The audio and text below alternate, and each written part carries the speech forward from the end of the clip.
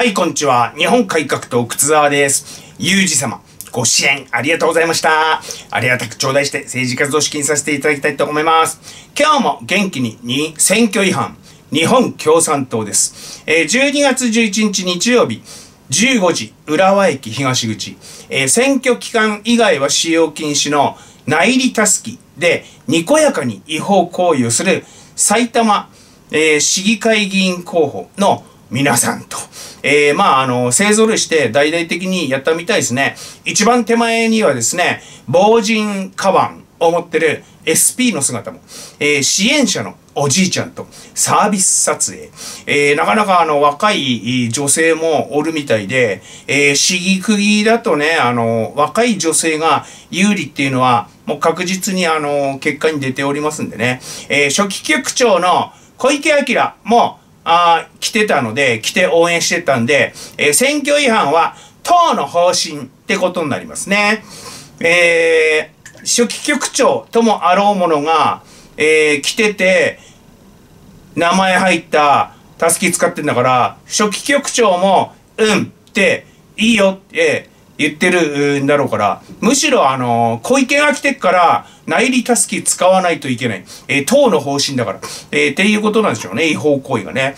えー、さすが暴力で政府を打倒し、革命を目指す公安監視対象だな。えー、細かいルールなど、眼中にない。えー、むしろあの、共産党内では、違法行為すればするほど、褒められんじゃないですか、これ。えー、むしろ、悪の組織ですからね。えー、民主主義者が作った法律なんか守れるかっていうぐらいなもんでね。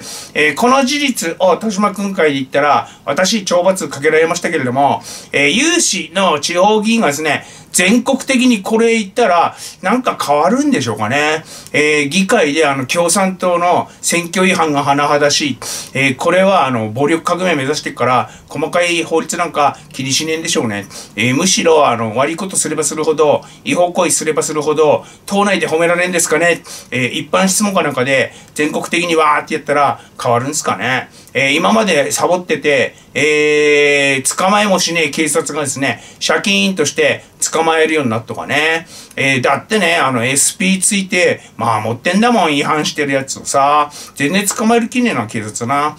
えー、コンビニで見かけた新聞の一面、えー、今日あの、行った先のコンビニで、えー、ああ、こういう傾向あるのが、えー、面白かったんですけど、読売、自衛隊施設予算に建設国債を活用、えー、1.6兆円ぐらい、えー、毎日朝日、えー、多分東京も、えー、安保関連3文書、事項が合意、えー、中国の動向について、これまでにない最大の戦略的な挑戦と、今までの懸念よりも表現を強めている、えー、喉から血が出る勢いで不満そうだな、えー、ストレスで免疫低下しろ、えー、朝日、毎日、東京新聞はね、えー、自衛隊施設予算に建設国債にスパイの共同通信が不満たらたら。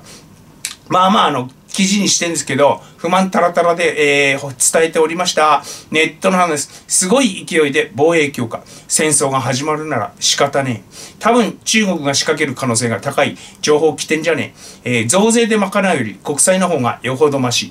えー、他の予算を減らすという発想はないんだな。えー、今は道路や橋を作ってっている時ではない。ミサイルや戦艦を作るべき。えー、自衛隊員の待遇改善もやらないと。えー、これやらないと、あの、今人手不足で応募してくんないんですね、自衛隊員ね。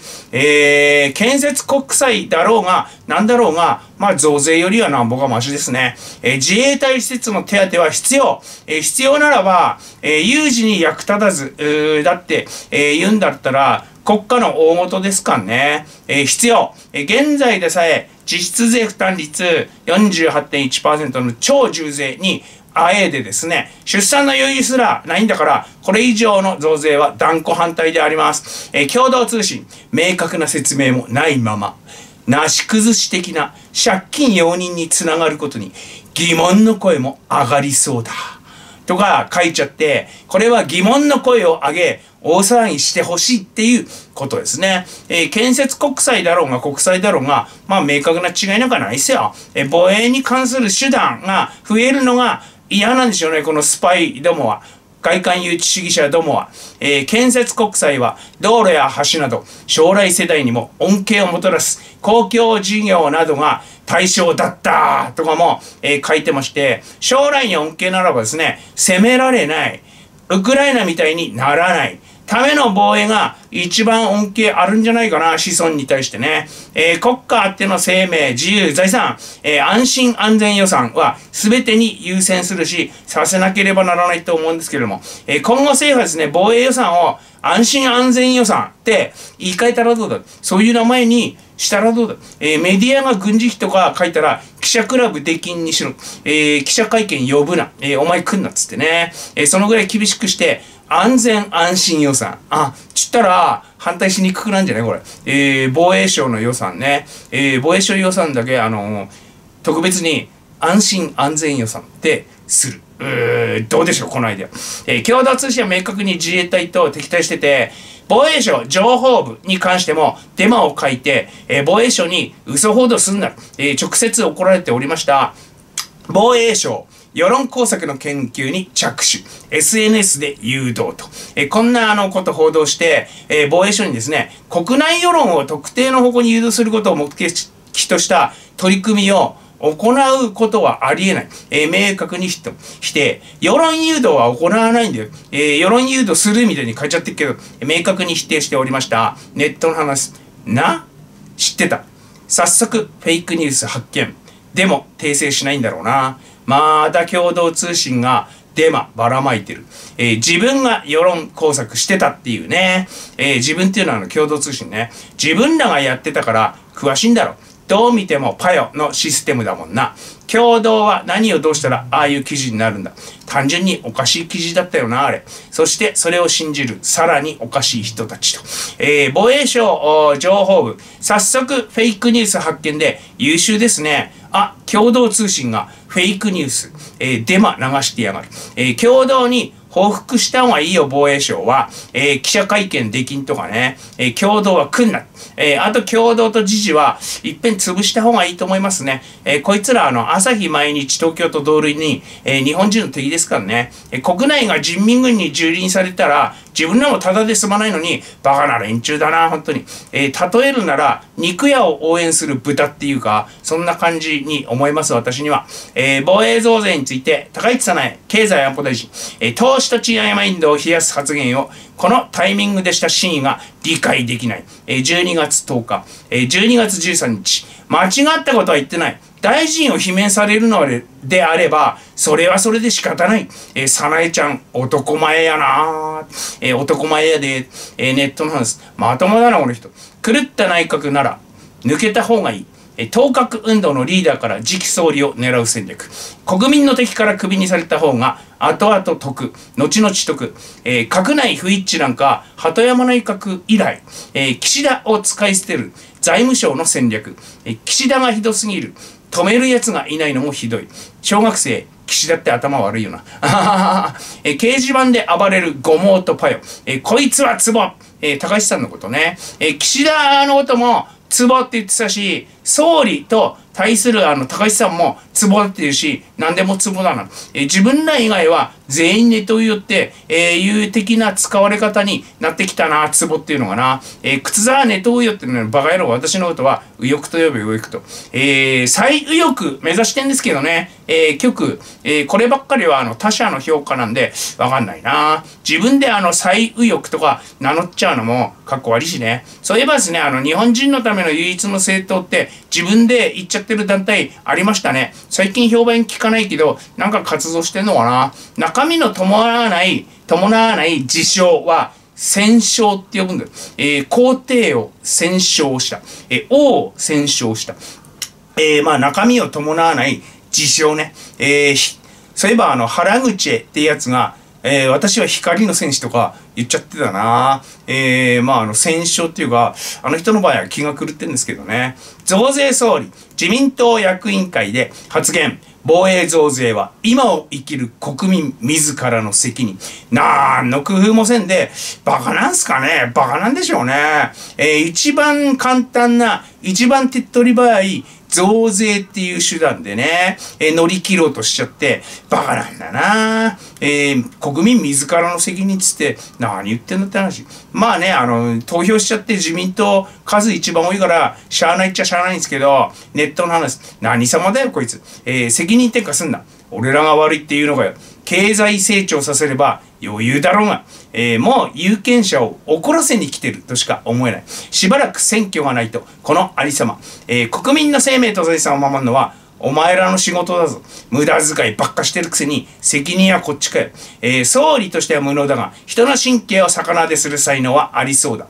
大将なんだから、そこは自分の責任って言えよ。えー、もっともですね、えー、国民には自分は入ってないって考えてそうだなバカだからななんせ。えー、増税しないと潰れるとか言っちゃってるし、とっと頭おかしくなってますもんね、岸田政権ね。えー、増税したあるいは増税言い出した政権は2年持たないって実績ありますから、岸田政権あの、去年の9月からだから、1年と3ヶ月経過してるんですよね。えー、あと9ヶ月以内に倒れっかなえー、倒れてほほしいなーえー、金には名前書いてねえだろ。目的税は財務省の欺瞞だ。っていうのが私のあの持論なんですけれども、えー、2024年度、再来年から住民税に1000円上乗せ。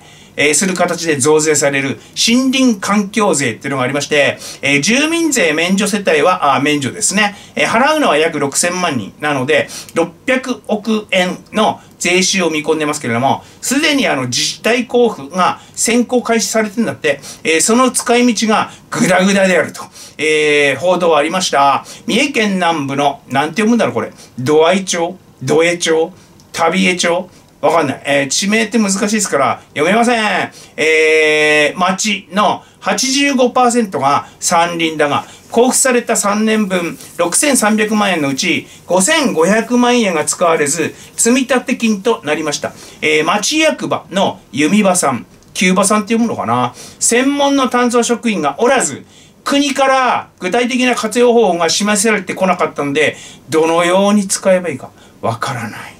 えー、三輪ゼロの渋谷区にも3年分4600万円交付。えー、これもそっくり積立金になってるそうであります。えー、渋谷区担当者。都市部なので林業がよくわかりません。えー、人口密度世界一の豊島区も三輪ゼロなんで多分積立になってんでしょうね。えー、結論なんですけど、目的税は財務省の欺瞞。ただなんだのかんだの理屈をつけて増税したいだけって、えー、思ってるんですけどね、私。ガソリン税であるとか、消費税、福祉に使いますとか言って、えー、そういうのもね、あの全部欺瞞だと、えー、思ってるんですけどね。結局、あの、増税したいだけで、ネットの反応です。えー、行政の怠慢、まさかの人頭税、使わないけど金が欲しい。取るだけ取って使わない。天下り団体新設のための新税。何でもいいから増税したい財務省。中抜きじゃなくて直抜きスタイル。森林を伐採してソーラーを設置させるくせに矛盾だな。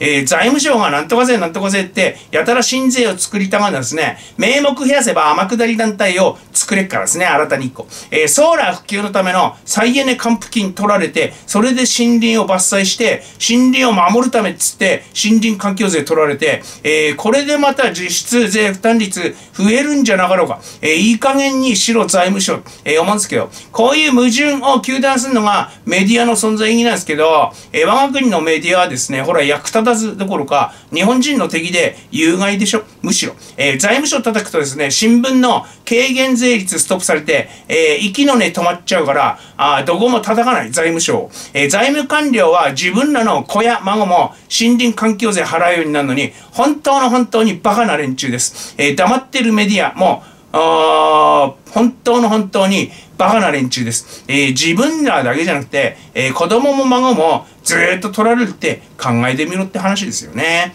えー、興味深かったツイート。食欲減退薬のマジンドール。そんななんだ。えー、を飲んだ時の副作用である性欲減退はやばかったです。生きる気力が根こそぎ失われたので、性欲イコール生きる力だと悟りました。そういうもんですか。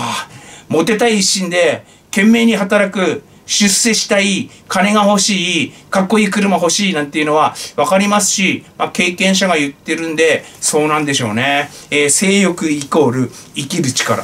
えー、してみてあの、私は相当生きる力が減退してるような 気もしますけれどもね。えー、メール党員さん大募集であります。12月29日にはメール党員さん限定の懇親会も企画しております。こちらの方のご応募も、えー、お早めにどうぞ。えー、会場にですね、定員があって、えー、それ以上は受けられないっつってビシャって締め切っちゃう、え、締め切らざるを得ないんで、え、懇親会ご応募はお早めにお願いいたします。デトックスジャパン。